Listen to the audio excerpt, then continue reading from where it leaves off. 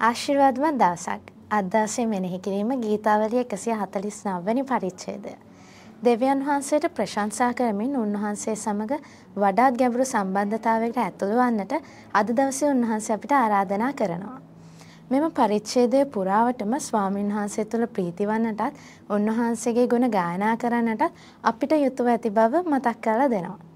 ප්‍රශංසාව කියන්නේ මොකක්ද? ඇයි අපි දෙවියන් වහන්සේට ප්‍රශංසා කළ යුත්තේ? ප්‍රශංසාව කියන්නේ යම් කිසි පුද්ගලයෙක් තවත් පුද්ගලයෙක් උදෙසා කරා වූ යහපත් ක්‍රියාවට ආශිර්වාද ලැබූ තැනැත්තා ආශිර්වාද කළා වූ තැනැත්තාට කරන්නා වූ ස්තුතිය ගෞරවය වචනවලට හැරවීමක්. ඇත්තට මේක අපේ හදවතින්ම එන්න ඕන දෙයක්.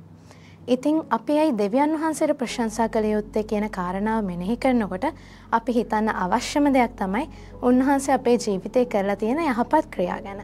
උන්වහන්සේ අපේ ජීවිතේ වචනවලින් විස්තර කරන්න බැරි බොහෝ යහපත් ක්‍රියා කරලා තියෙනවා. පොදු කාරණා කිහිපයක් කිව්වොත් යේසුස් ක්‍රිස්තුස් වහන්සේ අපේ පෞද්ගලික ගැලුම්කාරය හැටියට පිළිගන්න මොහොතේම අපිව පාපයෙන් ගලවලා උන්වහන්සේ අපිව ධර්මිෂ්ඨව හරවන්න විශ්වාසවන්ත වෙලා තියෙනවා. ඒ වගේම තමයි නිරයට නියම වෙලා හිටිය අපිව ස්වර්ගරාජ්‍ය උරුමක්කාරයෝ බවට පත් කරන්නට උන්වහන්සේ දයාවන්ත වෙලා තියෙනවා. තවත් කාරණාවක් තමයි රෝගය පීඩාව වෙනුවට සුවය සමාධානය නිදහස් කරන්න උන්වහන්සේ ප්‍රේමණීය පියෙක් වෙලා තියෙනවා. ඉතින් මේවම මදිද අපිට උන්වහන්සේට ප්‍රශංසා කරන්න.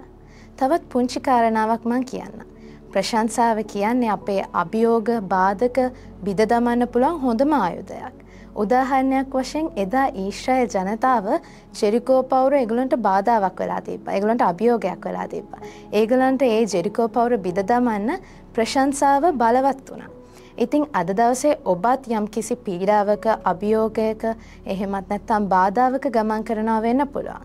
ඔබ කළ යුත්තේ ප්‍රශංසා කිරීමයි. නිකම් ප්‍රශංසාවක් නෙමෙයි සැබෑ සිතින් උන්වහන්සේට ප්‍රශංසා කළ යුතුයි.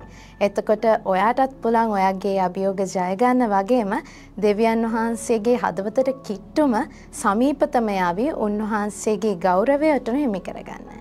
ජේසු පිහිටයි.